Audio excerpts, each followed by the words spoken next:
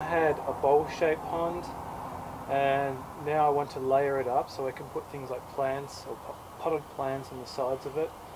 Um, so this way you can see I've created a bit of a mess here because I've just removed all the rocks, all the plants and um, starting again basically. And if you look up here, this is where my waterfall comes down. Um, I plan to uh, basically clean all this out as well. It hasn't been cleaned for many years and it just needs a good clean. Um, so I'm going to start at the top. We want to start at the top because you know, the water falls down so we can start at the very top and just work our way down. I'll come back to this later on. One of the first things I need to do uh, for this pond is fix this, this spot here. You can see that um, the problem is that we have dirt coming in because this liner isn't set up correctly. So what I'm going to do here is put some soil behind here and then uh, level off like that and maybe put some rocks up there so that just prevent dirt coming in on top of here like you can see there.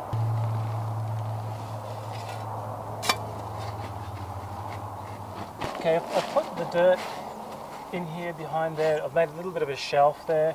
That way I, as I build the wall up I can put rocks at the top just here in the shelf and that'll just help prevent some dirt going in.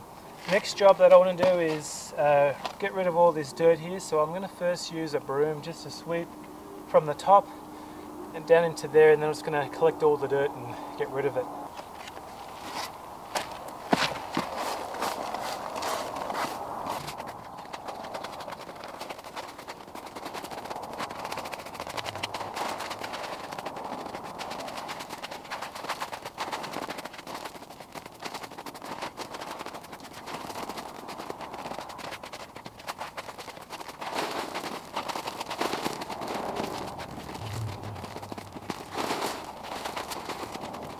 Right, at this point I've cleaned most of it from here up and I'm ready to go and uh, use a, a, high pressure gun to go and uh, clean all the dirt out of the rocks and get the algae off the rocks as well.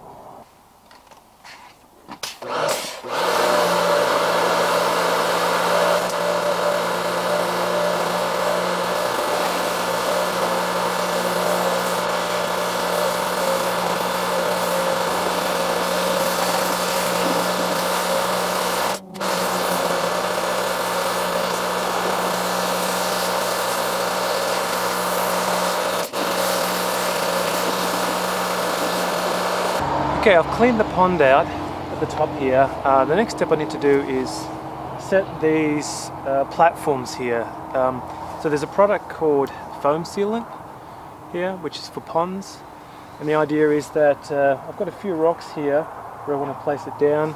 I'm going to use this foam to put it in the rocks and just set that platform on top of it so it'll just sit there nice and tight.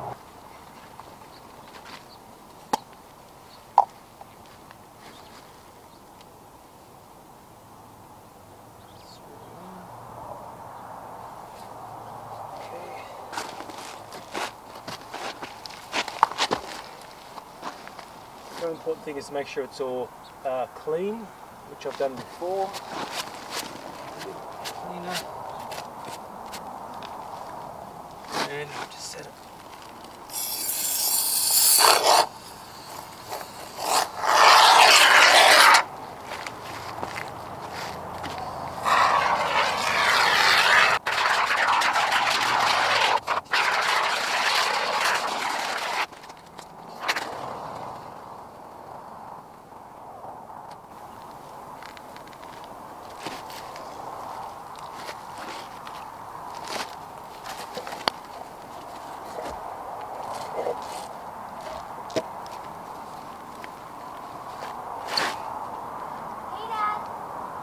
Hey Beth. Alright, let's see you set it. Hi, so I've cleaned all the pond liner and I've also cleaned all the rocks. Uh, I've also put in the two platforms there and I've used foam as I showed you before, put them in.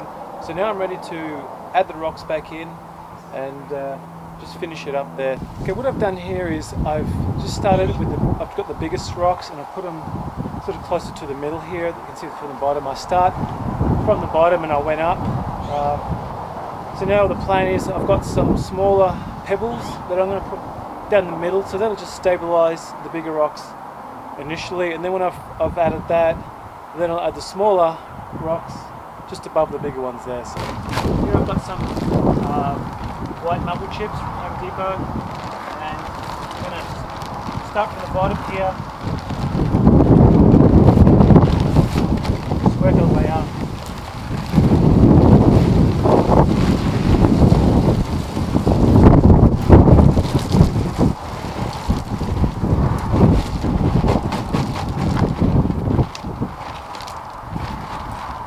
Okay, you can see here we've done the middle section with those white marble rocks. Uh, the next step is to move uh, the smaller rocks to the sides. We want to cover all the black liner so it just looks nice. So here we have it. We've just finished putting all the rocks there, we cleaned it up and that's the finished product. Hope you like it.